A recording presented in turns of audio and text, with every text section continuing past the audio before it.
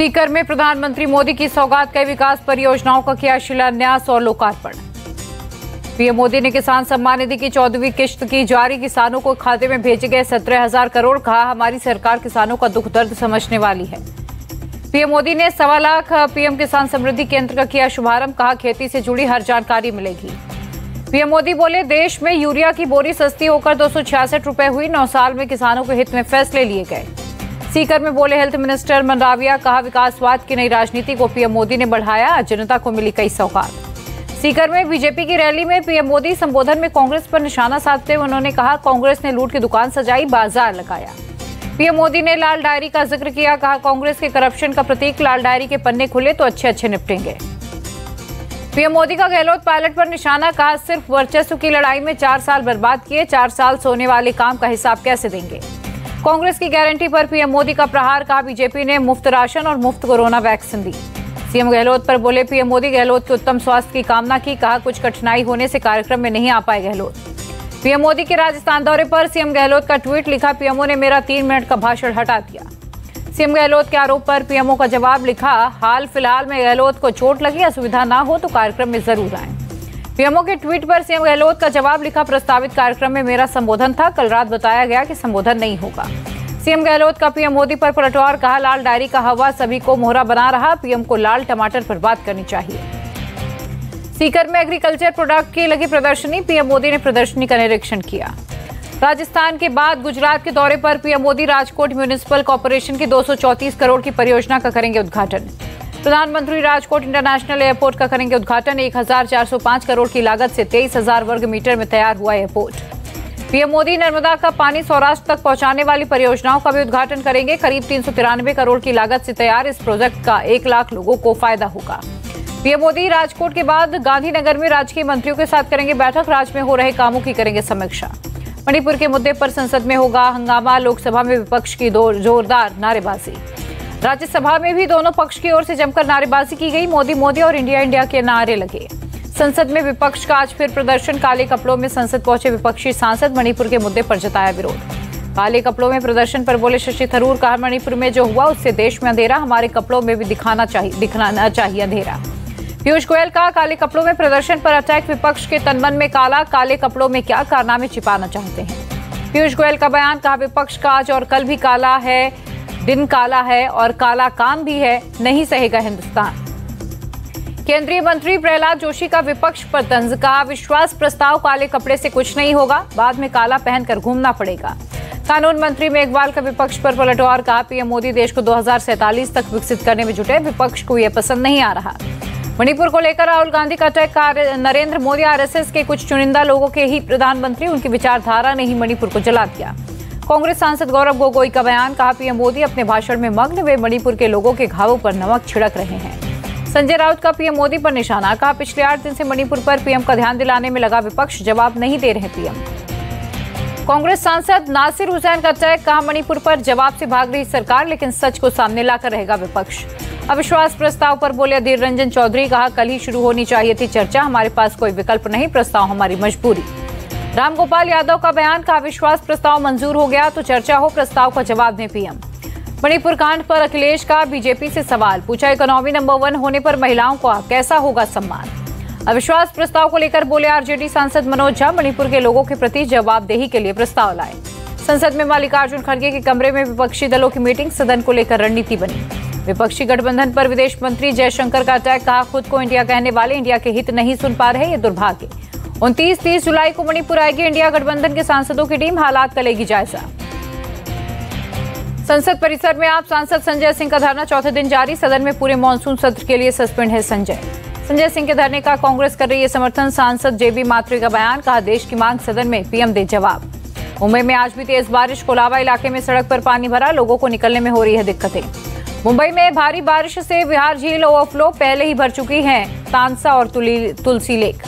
महाराष्ट्र के वर्धा में सुबह से तेज बारिश, घरों में घुसा पानी, स्कूलों को किया क्या बंद नागपुर में रात भर मूसलाधार बारिश, कई इलाकों में जल भराव लोगों को हो रही हैं दिक्कतें। नागपुर में सड़क पर पानी भरने से नागपुर हाईवे अड्डे का एंट्री रोड बंद। नागपुर के कलमना इलाके में पुलिया पर पानी भरा, कार छोड़कर भागा शख्स, वही कार नरेंद्र नगर में डूबी पुलिया। नागपुर के मनीष नगर अंडरपास में पानी भरा जयप्रकाश नगर रोड पर गाड़ियों की लंबी कतारें। नागपुर के बिरगांव में बाढ़ में फंसे लोगों का रेस्क्यू महानगर पालिका के कर्मचारियों ने बचाया। रायगढ़ में बारिश के चलते उफनाई पेन और रोहा नदी, अलीबाग तालुका का मुदक टखर गाँव बाढ़ से घिरा फंसे लोग। नांदेड़ में मूसलाधार बारिश से हाहाकार, किनवट तहसील के उफनते नाले में एक शख्स बहा। रत्नागिरी में मुंबई गोवा हाईवे पर चट्टान खिसकी, हाईवे पर लगा लंबा जाम। रत्नागिरी में भारी बारिश से उफनाई अर्जुना नदी, राजापुर में बाजारों घरों में पानी घुसा। कोल्हापुर में बारिश के चलते उफान पर पंचगंगा किनारे बसे गाँव में पानी घुसा, दत्ता मंदिर में भी पानी भरा। महाराष्ट्र के यवतमाल में भारी बारिश, सईखेड़ा में सड़कों पर बह रहा पानी। वीडियो कॉन्फ्रेंसिंग के ज़रिए महाराष्ट्र के डिप्टी सीएम अजित पवार ने की बैठक, राज्य में बारिश, बाढ़, सूखे की स्थिति पर समीक्षा की। वारंगल में भारी बारिश के कारण भद्रकाली मंदिर मार्ग पर जल भराव, लोगों के घरों में भी पानी घुसा। तेलंगाना में पानी में डूबा, भूपा, पल्ली, परकला, एनएच, फंसी लॉरी, कैबिनेट पर बैठे ड्राइवर्स ने बचाने की गुहार लगाई। हैदराबाद में लगातार बारिश के कारण परेशानी बढ़ी, शहर के कई हिस्सों में जल भराव। तेलंगाना के भद्राद्री कोठागुडे में पानी की तेज धार में वही महिला, प्रशासन की टीम तलाश में जुटी। तेलंगाना के मुलगू में बारिश के बाद अचानक आई बाढ़, नेशनल हाईवे एक पर पानी भरा। तेलंगाना के मुलगू में रेस्क्यू पूरा, मुत्याला फॉल्स में फंसे सभी 80 टूरिस्ट को बचाया गया, मेडिकल हेल्प दी गई। बाढ़ के पानी से घिरा तेलंगाना का मंत्री मंडल गोलापुर रेत खदान खदान में 10 मजदूर फंसे थे। तेलंगाना के सभी शिक्षण संस्थान बंद, भारी बारिश के कारण सीएम केसीआर ने दिया आदेश। जम्मू कश्मीर के श्रीनगर में भारी बारिश बारिश की वजह से कुछ हिस्सों में पानी भरा। हिमाचल प्रदेश में अगले तीन दिन तक बारिश का अनुमान, राज्य के कई जिलों में ऑरेंज अलर्ट जारी। प्रदेश भूस्खलन और बादल फटने की भी संभावना, कई इलाकों में छाई रहेगी धुंध। बाढ़ प्रभावित सैंज घाटी के दौरे पर पूर्व सीएम जयराम ठाकुर कहा, सड़क का बुनियादी ढांचा ज़्यादा क्षतिग्रस्त। ग्रेटर नोएडा में हिंडन के पानी में मामूली कमी, अभी भी डूबे हैं कई इलाके। मुरादाबाद में सड़क पर पानी भरने से भारी परेशानी, लकड़ी किराए पर लेकर ग्रामीणों ने सड़क पर बनाया पुल। हरियाणा में प्राकृतिक आपदा का कहर, प्राकृतिक आपदा से 24 घंटे में पाँच लोगों की मौत। पंजाब के अमृतसर में सुबह से बारिश, कई इलाकों में जल भराव। जूनागढ़ बाढ़ के बाद आपत्तिजनक वीडियो वायरल करने वाले तीनों आरोपी गिरफ़्तार, फेसबुक पर पोस्ट किया था वीडियो। पीएम मोदी की तीसरी बार पीएम बनने के दावे पर उद्धव गुट का सवाल, कहा पार्टी नहीं, वे खुद पीएम बनने का कर रहे ऐलान। बीजेपी नेता अमित मालवीय का ट्वीट, लिखा, टीएमसी के पाँच लोगों पर कुछ बिहार की नाबालिग लड़की के किडनैप, रेप का आरोप, लड़की पीड़िता की मौत। बंगाल के नेता विपक्ष शुभेंदु अधिकारी पहुँचे supreme court, Calcutta high court के एफआईआर दर्ज करने के आदेश को दी चुनौती, चार अगस्त को सुनवाई। भोपाल में गृह मंत्री शाह का सीएम शिवराज से लंबा बातचीत, अश्विनी वैष्णव वीडी शर्मा और उत्तम मिश्रा मौजूद थे। लखनऊ में सीएम योगी का जनता दरबार लोगों की सुनी समस्याएँ अधिकारियों को निर्देश दिए। देहरादून में सीएम धामी ने नेपाल के उच्च स्तरीय प्रतिनिधिमंडल के साथ की बैठक, कहा नेपाल के साथ रोटी बेटी का संबंध। लद्दाख के द्रास के करगिल बैटल स्कूल से सैनिकों को मिलती है खास ट्रेनिंग, रॉक क्राफ्ट सहित पहाड़ी युद्ध की ट्रेनिंग लेते हैं सेना के जवान। गोवा के समुद्र में फंसे जहाज़ का कोस्ट गार्ड ने किया रेस्क्यू, रिसर्च टीम के आठ वैज्ञानिक समेत छत्तीस लोगों को सुरक्षित निकाला। बागेश्वर धाम के पीठाधीश्वर पंडित धीरेन्द्र शास्त्री के लंदन में भारतीय धरोहरों को वापस लाने का दावा, कहा, कोहिनूर लेकर लौटेंगे हिंदुस्तान। बाबा बागेश्वर ने भारत की बढ़ती प्रतिष्ठा का ज़िक्र करते हुए कहा, पहले अंग्रेज़ों के लेक्चर हम सुनते थे, आज वो सुन रहे हैं। श्रीनगर के पंथा चौक बेस कैंप से रवाना हुआ एक और जत्था, बालटाल और पहलगाम मार्ग से जाएगा पवित्र अमरनाथ गुफा। श्रीनगर में अपने ऐतिहासिक रूट पर निकला मुहर्रम का जुलूस, बड़ी संख्या में लोग शामिल, प्रशासन ने सुबह छह से आठ बजे तक दी इजाज़त।